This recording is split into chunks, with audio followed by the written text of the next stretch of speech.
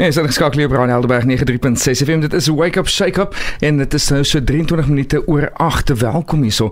Nou, ek het vroeër vanoggend al gesels en ons het gesê dat ons vanoggend iets baie spesiaal gaan doen. Lekker interaktief op ons radio. Ehm um, en dit is gewoonlik sleg as jy dit nie self kan sien nie, maar vanoggend neem ons dit af so jy gaan dit ook daar by die huis kan sien. Ons gaan dit op sosiale media plaas. Ons het die span van Bodynetics hierso en hulle het ver gery om by ons te kom kuier van Klerksdorp af. Ons sê welkom vir Isabou van Heerden biokineticus en ook Emerentia Bester die eetkundige. Goeiemôre julle. Goeiemôre. Dis wonderlik om julle hier so te hê. Dis nou al so 2 weke wat ons gesels en beplan om vanoggend uh, dan nou die die swabs te doen. Ons gaan meer uitvind presies wat behels 'n swab. Ehm um, so dis lekker om julle hier te hê.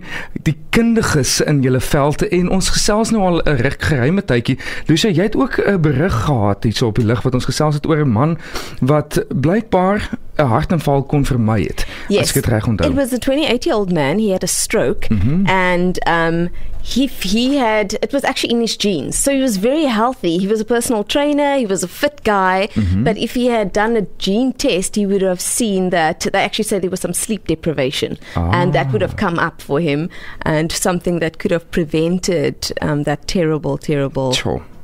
Jy sien en met dit ons almal is bekommerd en ons almal is baie meer gesondheidsbewus teesdae. So ons wil weet wat is in ons gene. Is dit nie? Nee, definitief so. Ja. En mens kan voorkomend optree daarmee. Nou presies en dit is wat ons vanoggend gaan ons 'n bietjie swap doen. Ek gaan self uh, dan nou dit doen. Dit is nou nie 'n verskriklike groot ding nie, maar ons gaan meer vertel oor. Kom ons begin eers. Wat presies is Bodynetics? So, vertel ons 'n bietjie meer oor julle praktyk. Okay, ehm um, die praktyk het begin dit is 12 jaar terug het ek my biokinetika praktyk begin. Ja. En ehm um, die laaste 2 jaar het ek hande gevat met 'n chiropraktisyn en nou twee dieetkundiges mm -hmm. en ons het 'n mediese dokter wat ons ook bietjie help. Daar's 'n spraakterapeut. So on, ons is nou so 'n multidissiplinêre sentrum. So ek sê sommer dis nou so 'n one-stop health shop. ja. En ek en die een die dieetkundige het so jaar terug begin gesels oor sjoe dis dis dis dieselfde tipe mense wat ons kry wat dieselfde oefenprogramme doen en dieselfde mm -hmm. dieete volg waar die een ou in 'n maand 5 kg verloor, sal die ander ou sommer 2 kg optel op dieselfde program. En ja. en ons het net gevoel daar daar's ons kort iets. Yes. Ja. En sy het gesê maar sy het nou gehoor van hierdie DNS toetse ja. en hoekom kyk ons nie bietjie daarna nie en ons het die kursusse bygewoon en ons het nog net nie weer teruggekyk nie. Dit wow. is soos wow. Dit dit het net ons het soveel goeie resultate en en dit maak jou jou oefenprogramme en die ete net net soveel meer spesifiek. Ja. So uh, ja. Is, ja. Is, is eintlik baie interessant. Jy weet en ons het nooit dis 'n veld wat ons net nooit aan gedink het om te sê daar moet iets wees in ons gene, hmm. iets in ons DNS dan nou. Is net gevlugtig. DNS gene genetika toetse. Dis dieselfde. Ja. Okay. Precies. Precies yeah. Precies yeah. yeah. yeah. Okay. It's so interesting. We're always seeing advancements in technology and different things. Even now, I know that people can, if they want to get pregnant, they can choose if they want to have a boy or a girl. Um, so it's it's so awesome that we can do these tests. But why would we do these genetic tests? Can you tell us a little bit more about that? Wel met die genetika toetse, ehm um, kry mens verskillende tipe resultate. Mense het verskillende tipe gene wat verskillende tipe werkings het in mense mm. liggaam. En waar party mense se gene, gene beter werk, ehm um, as ander mense se, dan kan mens dit nou bepaal. Sure. En dan volgens dit kan jy nou ehm um, lewenstylveranderinge maak of dit nou mm. uh, oefen of dieet of selfs supplementasie is, kan mens nou intree met sulke tipe van goed. So jy kan regtig optimaal optimaal van jou lewenstyl eintlik uit dit uitkry. En dis nie meer net 'n dieet vir 'n paar maande of so nie. Dis absoluut 'n lewenstyl wat 'n mens nodig het om 'n verandering mee te maak. Hmm. So it's that very very personalized. It's literally for you bespoke program of what you need for your skin for everything. Now the information that people can expect, right? They do the test. What information can they expect from it? Goed, ons op hierdie stadium toets die laboratorium so 120 gene. Wow. Ja, en dit word verdeel in 5 afdelings. Okay. So die eerste is dan jou gesondheidsafdeling waar mm -hmm. jy mhm. dan jou risiko's kan sien vir sekere siektes. Yes. En dan die volgende is jou dieetafdeling waar jy dan presies sien hoe moet jy eet volgens jou gene. So dis sure. eintlik ongelooflik. Ja. ja. Dan jou sport, dis nou my gunsteling. so jy sien hoeveel keer 'n week moet jy oefen? Hoe lank moet jou sessies wees, watse tipe sport moet jy oorweeg. Wow. So ja.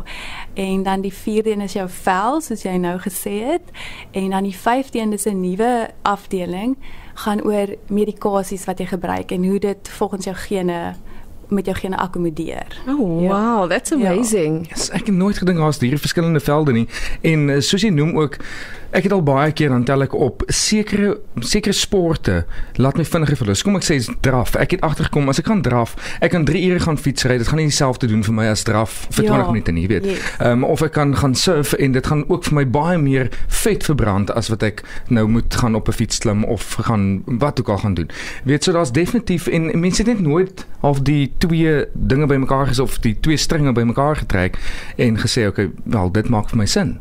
Ja, wat ons ook agtergekom het is sekere mense moet eerder die eet as wat hulle oefen om gewig te verloor. Dis nogal baie Sure. interessant. Ja, so hulle gaan beter doen deur suiwer die eet en dan minder te oefen waar ehm um, party mense weer meer moet oefen. So daai was ook vir my verskriklik interessant. That makes so Ja. much sense to It Ja. me. does, eh? Ja. It does. We never knew this, Lucia.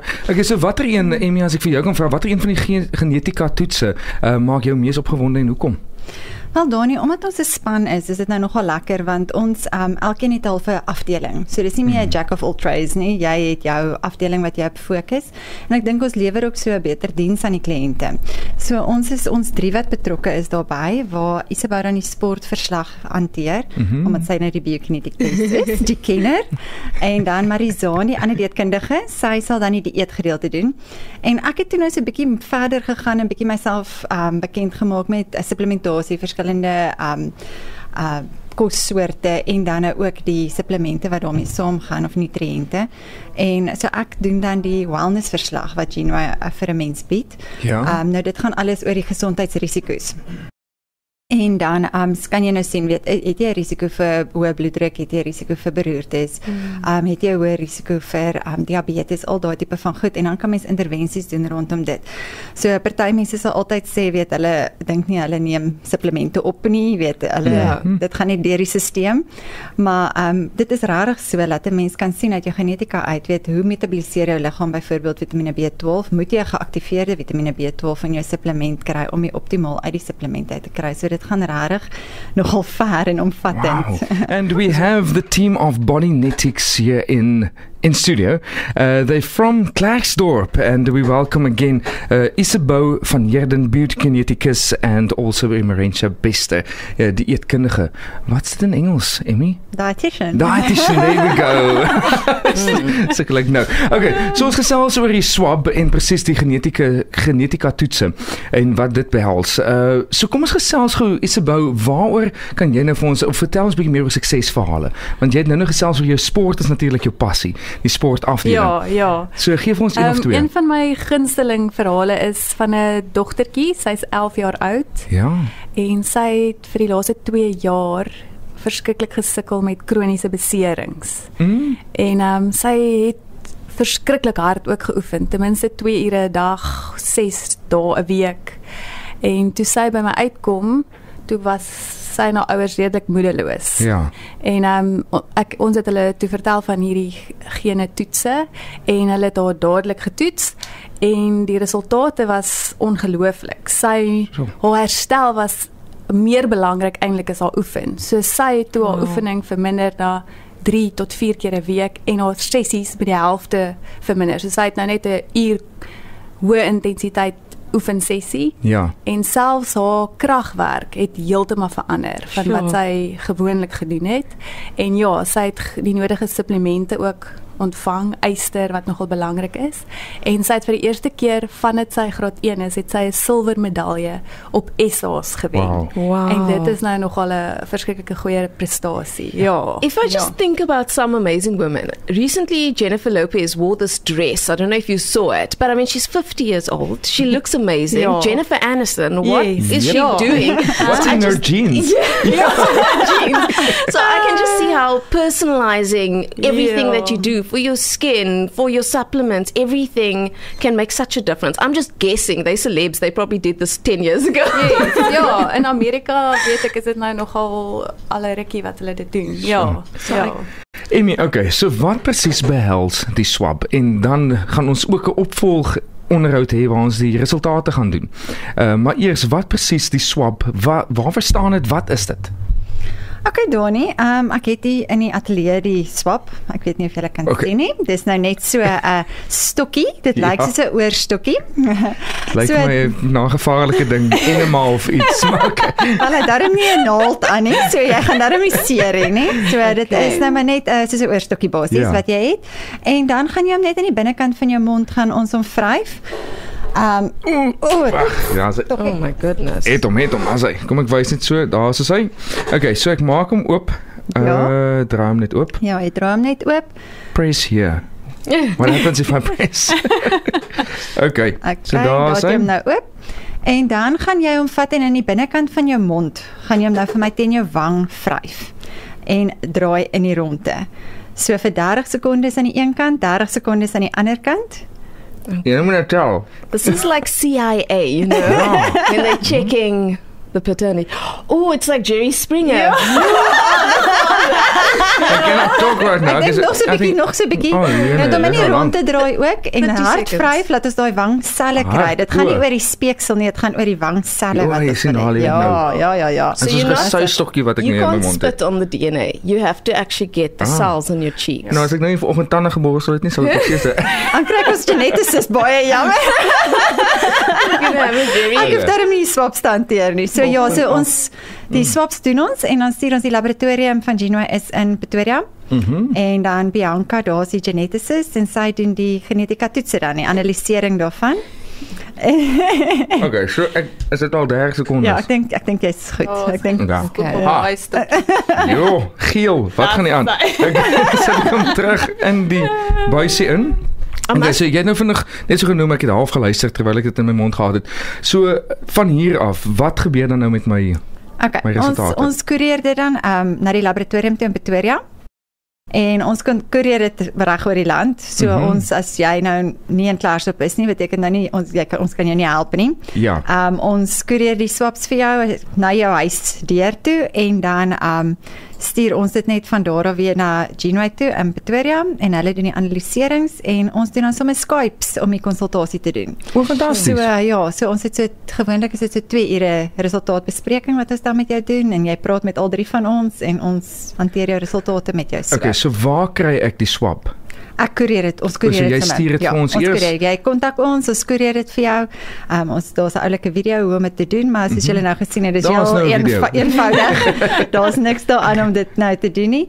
Um so um ja, en dan kan ons jou resultate vir jou gee. Okay, nou Isabel, moet ek dit elke maand doen? Is dit iets wat ons moet redelik gereeld doen of hoe werk Nee, dit? jammer Dani, jou gene is jou gene. Is dit verander nooit nie. Ja. Maak saak jy hoe ek eet nie, maak saak hoe ek oefen nie, my gene bly gene. Dit bly maar dit word nou jy kan dit nou die risiko's vir sekere siektes kan jy nou voorkom of maak dat dit nie negatief geaktiveer word nie. Ah, so jy okay. kan nou voorkomend begin optree. Ja. Okay, hulle is ja, dit- hulle is- hulle mhm.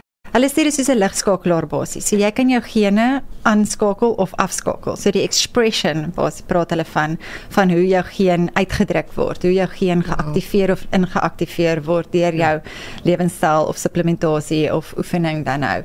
Kan mens dan nou dit so bepaal? I must ask this because um you know when you do a paternity test you need to know immediately who's the father. So in the same way, once you've sent off your swabs, now how long is it going to take for you to get your results?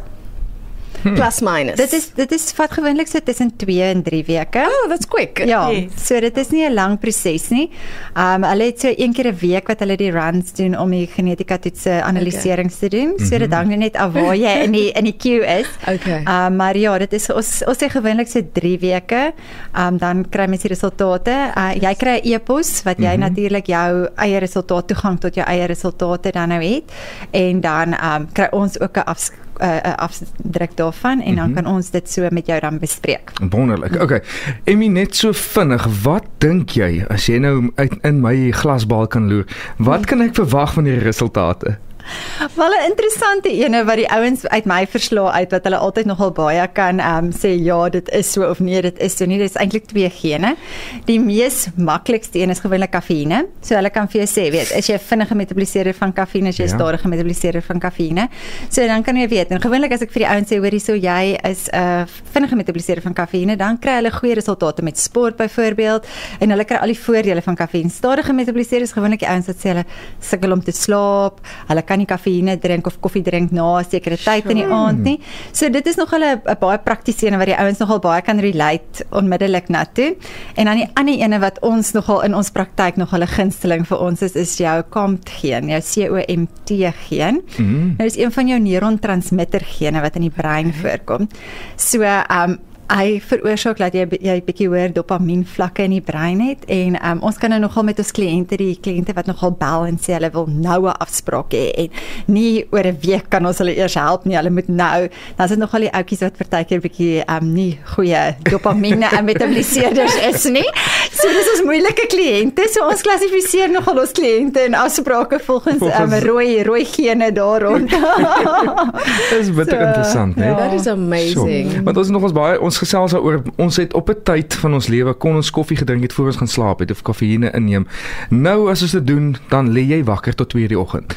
Weet en dit hang af vir alles af ook wat in jou gene is. Maar soos jy sê, uh, is about dit verander glad nie. Jou gene bly Jou dieselfde. gene bly jou gene. Ja. ja. Nou, ek sien baie uit na die resultate. Ehm um, as iemand julle wil kontak, hoe maak ons? Hoe kan ons julle in die hande kry? Okay, ons het ons e-posadres is www.bodynetics1@gmail.com. So hulle kan vir ons 'n e-pos stuur of dan ons uh, telefoonnommers Isabel, sê jy 'n bietjie die telefoonnommer? Is 082 375 3456. Wonderlik. Jy kan ook Genway se webtuiste gebruik, genway.co.za of sommer hulle e-pos info@genway.co.za. Jy kan hulle ook op Facebook gaan kry. Bodynetics sal ook daar mm. wees. So jy kan sommige daarso gaan uh, hulle page gaan like en dan enige vrae wat jy het vir hulle aanstuur. Baie dankie dat julle kom kuier het. Um, ek weet julle is weer terug op pad Klerksdorp. Dus so vir my resultate gaan ek dalk maar een van julle twee moet bel Ons en dan sal ons dit sommer telefonies of Ja. Skype. Ons gaan jou Skype. Ons gaan jou Skype. dan moet ons Ons kan dan nie wag nie. See all the results. Ja. Baie dankie dat julle kom kuier het. Emerensa Bester dieetkundige en dan Isabou van Heerden biokineticus van Bodynetics. Geniet julle dag verder. Geniet die Kaap. Dankie dan. dankie. Bye bye. Bye.